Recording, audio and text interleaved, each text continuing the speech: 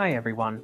In this video I'm going to be covering some new features in the Note application that are just available in the new update on the ProColor 3.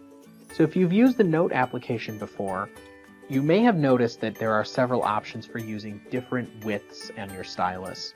You probably received two styluses with your panel, one with a thicker tip and one with a thin tip.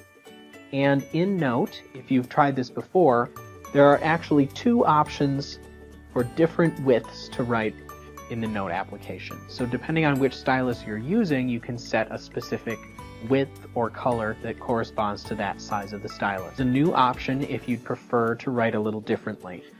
Down here in the lower left corner, you'll see an icon. In this case, it looks like two styluses crossed with each other. That's the double pen mode. It's the way that it has worked previously. You can now tap that icon and it changes to a single pen mode.